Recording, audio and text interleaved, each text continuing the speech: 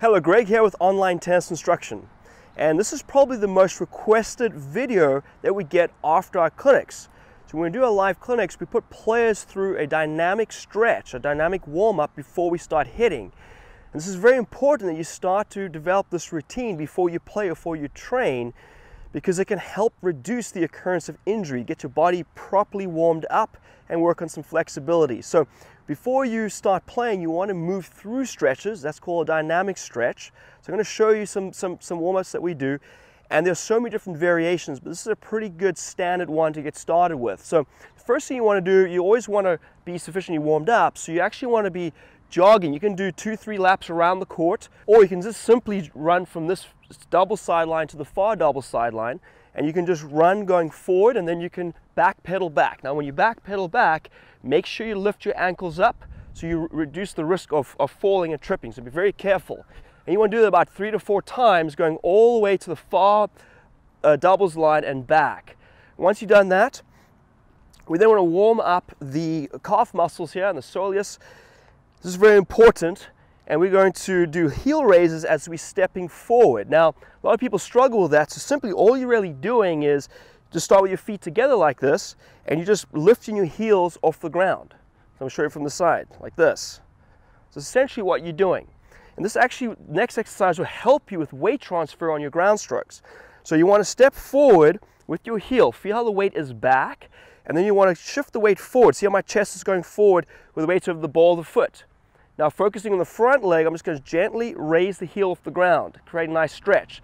Now you want to gradually increase that height as you get more and more warmed up. Then you would step with the next foot. See my weight is back, I roll up, come up on the, the ball of the foot with the front foot. Now you notice both, you come up on the toes of both feet, but you're working the front leg. So you can do that, and you'll do this to that middle line and back right? Because tennis is a multi-directional sport, so that's why we have you do direction changes in your warm-up as well. So that'll be the, the, the first, the first uh, drill. The next one, we're gonna do foot taps just to help your foot speed, where you're just gonna tap the ball of your foot on the ground like this. Find the rhythm, and then once you have the rhythm, you wanna increase the speed and the frequency. And the moment you feel like you're slowing down, then you would switch to the other foot. And you will find in the beginning that one foot is better than the other. But as you do this more and more, the, the other foot will catch up. And this is a drill that Ian Meyer likes to do, and really helps with your foot to ground contact. You'll do toe taps, and you do two to three sets on each foot. After that, we'll just do a, a shuffle, side shuffle. Keep your head nice and level, knees are slightly bent. We like to add some arm circles just to add a little more complexity, but also hit those shoulders. So you can side shuffle to that middle line, and then you would switch the direction of the arm circles coming back. And you would do that twice. All right, the next one we'll do can openers to take care of those hips. So you're gonna face that direction, you have your thumbs out in front. That way you'll eliminate too much movement from the shoulders. You wanna isolate that hip movement, right? You wanna think of uh, some professional players you can think of who had hip problems. It's very important you take care of this. So thumbs like this, turn your knee out, so towards what would be the back fence, and think of hurtling up and over with your knee faces out in front. And then the right knee goes towards the net, up and over. And you want to do this all the way to that middle line.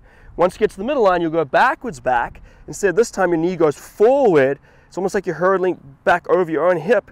And pretend you're placing that foot on a tightrope behind you, right? And going back is a little more tricky, and you may find you not you won't have as much mobility, but as you do this over time, it will improve and get better and better.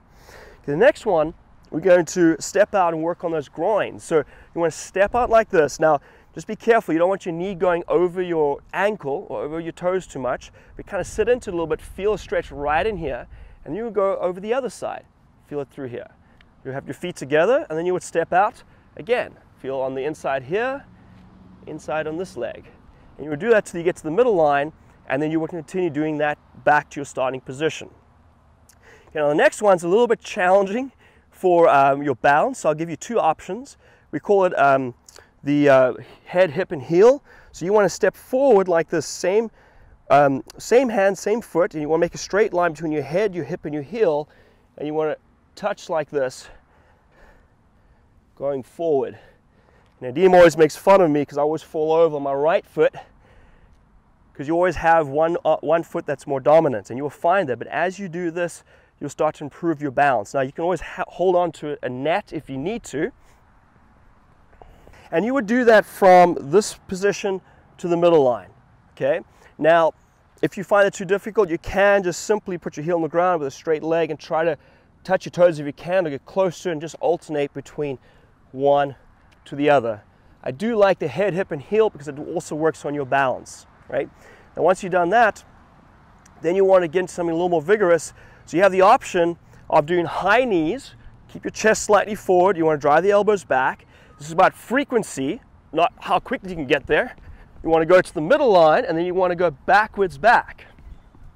Now if you have any uh, injuries or you're not able to do that, then you can also just bring the knee to your chest and as you do that you actually will see I'm going to come up on the ball of my foot. You can walk your way to that middle line and then turn around and go back facing forward with that one. Then we'll do butt kicks. So you want to try to keep the knee below your hip. Okay, and then you can just do this to that middle line and then you can actually go backwards back or if you prefer you can just turn around and do it going forward, right? Now if that's uh, too much you can just, somebody just kind of touch your ankles there just to try to get a little bit of um, a stretch here through, through your quads. Okay, so once you've done that, then uh, we'll go and just do a little bit of a stretch here with your lats. So grab your thumb like this and just kind of reach over from one side to the other. And you know that feels good. I know from people's reactions in the clinics, you may do about uh, four or five times to each side. Then uh, just a good stretch from Jody. You want to get a little bit of extension through your mid back.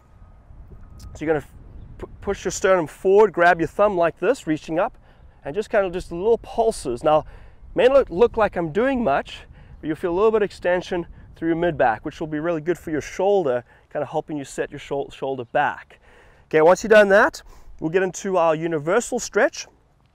And this is the one, if you don't have any time, you're late to the courts, this is the one you can do. And I'll just use this line just to kind of demonstrate. I'm going to try to go from one foot to the other. See how I'm replacing one foot on that line, or very close to it.